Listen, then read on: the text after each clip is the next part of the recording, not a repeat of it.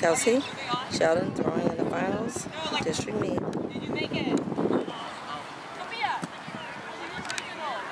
Okay, the prelims. We will begin with